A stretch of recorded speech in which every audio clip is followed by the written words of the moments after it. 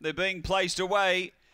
A really open race. The first one on the card. Southern Edge is the uh, late mail. The lights on. We're ready to race. Set to run. Ready.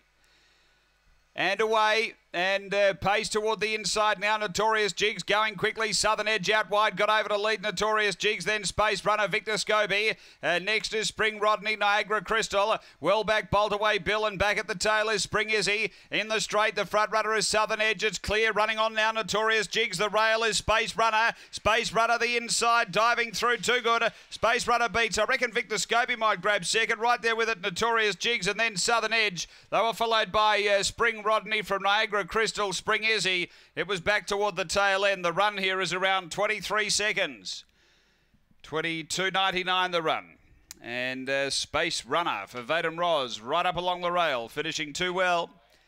Uh, number seven. Now one gets second, Victor Scobie, and two is third, Notorious Jigs.